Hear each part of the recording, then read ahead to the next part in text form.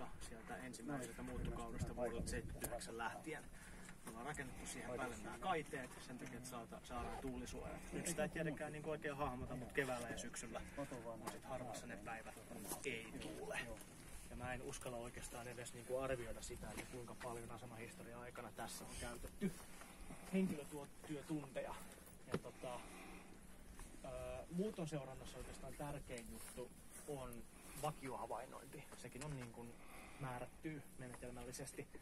Ja joka aamu, kun täällä suinkin on, on väkeä, edes joku havainnoimassa, niin muuttokausina vakiohavainnointi kestää neljä tuntia auringon noususta alkaen. Ja se on niin kuin se sellainen minimi,